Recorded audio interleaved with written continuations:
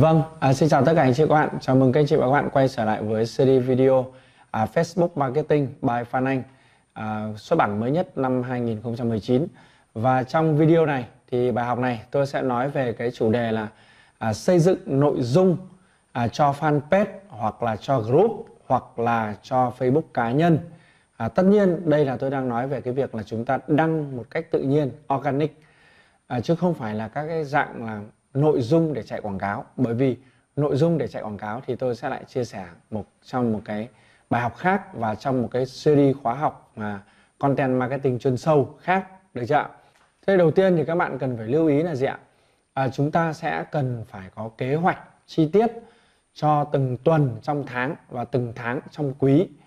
À, cái kế hoạch này thì chúng ta có thể lập nó dưới dạng là một bảng Excel à, là chia thành các mục đúng không ạ? Là theo thứ tự là thứ hai ba bốn năm sáu bảy chủ nhật. Và theo hàng là ví dụ như là fanpage group facebook cá nhân. Fanpage thì ngày thứ hai đăng cái gì? À, fanpage thì ngày thứ ba đăng cái gì? Group thì ngày thứ tư đăng cái gì? À, facebook cá nhân thì ngày thứ năm đăng cái gì? Mỗi ngày tần suất của mình đề ra là bao nhiêu video bao nhiêu bài viết bao nhiêu đường link. À, đăng vào giờ nào?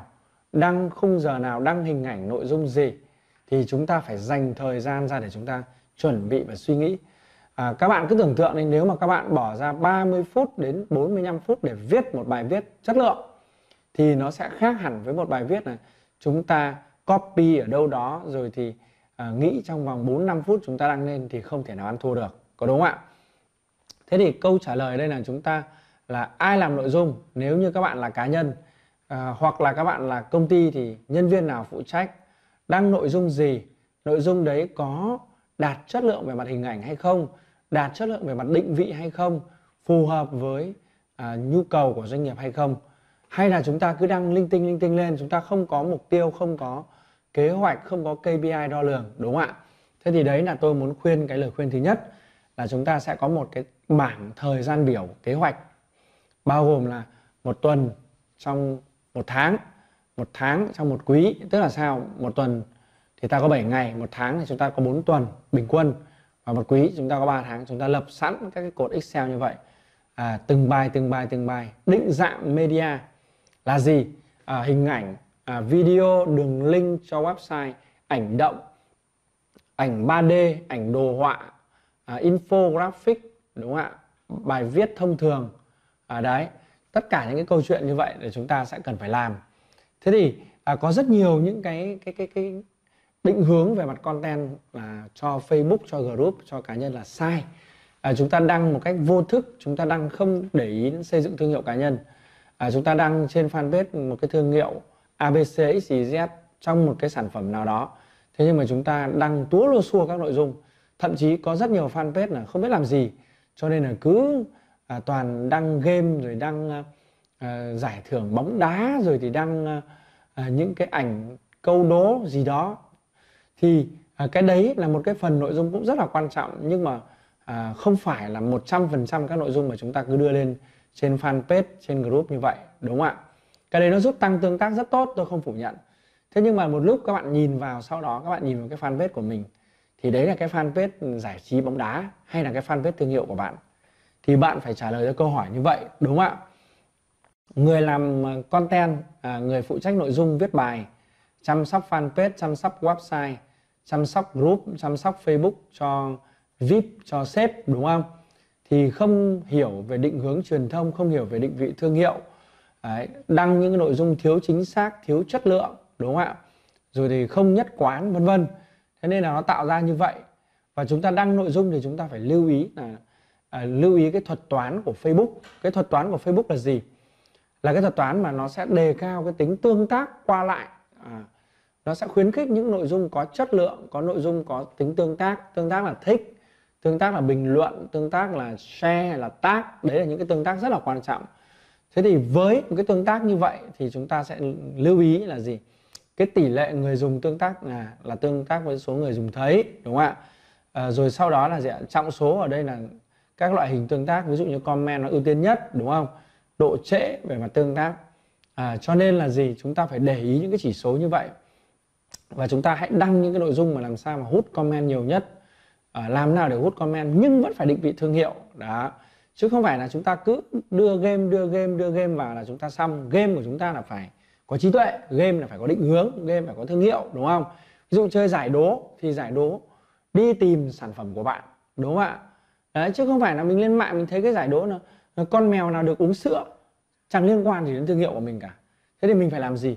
À, đây là mình làm một cái giải đố thì mình đưa cái sản phẩm của mình giữa thì mình nói là cách nào thì để tìm được thấy cái iPhone của bạn cách nào thì được tìm thấy cái áo của bạn hay là à, đấy đấy là cái cách mà chúng ta sẽ sáng tạo đưa vào sản phẩm đúng không? À, chúng ta phải làm gì? Bản thân chúng ta quản trị fanpage thì chúng ta phải trả lời các câu hỏi của mọi người tương tác với chúng ta. Chúng ta đầu tiên là like cho cái comment đó sau chúng ta comment xong chúng ta inbox đúng không? Và nó sẽ tạo thành một cái vòng quay là uh, ờ, tôi like bạn bạn like tôi tôi xem bạn bạn xem tôi và uh, cái cái cái tần suất như vậy thì nó sẽ giúp cho cái thuật toán của Facebook nó sẽ rất là tốt. Thì lần sau Facebook cá nhân này hoặc group này hoặc fanpage của bạn đăng lên thì cái người đó sẽ nhìn thấy đầu tiên. Bởi vì hiện nay cái cái tiếp cận tự nhiên của Facebook nó rất là thấp rất là chậm đúng không ạ bởi vì sao? Bởi vì cái đó chính là cái mà khiến cho cái tương tác tự nhiên của Facebook nó rất là giảm. Do Facebook người ta cố tình làm như vậy để tăng cái tương tác cho Facebook cá nhân. Và thứ hai là khiến cho những cái người bán hàng như chúng ta là phải uh, chi nhiều tiền quảng cáo. Thí dụ như rất nhiều học viên rồi bạn bè rồi học viên rồi khách hàng của tôi hỏi là anh Phan Anh ơi tại sao Facebook của em bây giờ đăng lên hay fanpage của em đăng lên là à, rất là ít tương tác hay rất là ít người nhìn thấy? Có nhiều người bảo là không nhìn thấy là do cái thuật toán của Facebook nó hạn chế. Và chúng ta đăng những cái bài viết mà mọi người không tương tác. Hãy khuyến khích mọi người vào tương tác, bấm like, comment này kia thì lần sau sẽ nhìn thấy. Bởi vì sao? Bởi vì hiện nay trên Facebook cá nhân của mọi người, chúng ta bị full bạn bè quá nhiều. Và như vậy cái lượng tin nó đưa lên quá lớn thì chúng ta không thể nào tải hết được. Đấy, đúng không ạ? Thế thì nói về nội dung thì chúng ta sẽ phải nói về định dạng. Thì tôi sẽ hướng dẫn mọi người, bắt buộc mọi người phải phải siêu về được các định dạng đúng không? Bài viết này dạng text này, hình ảnh này infographic này video này đường link này live stream này à, ảnh động này ảnh 3D này à, game app này rất nhiều.